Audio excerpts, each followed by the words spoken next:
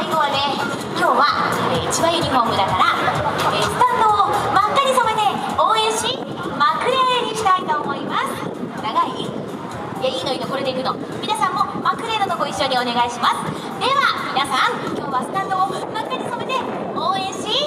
まくれありがとうございました。それでは今日も私たちと一緒に熱い応援よろしくお願いしますではこの後はスタジアムの中で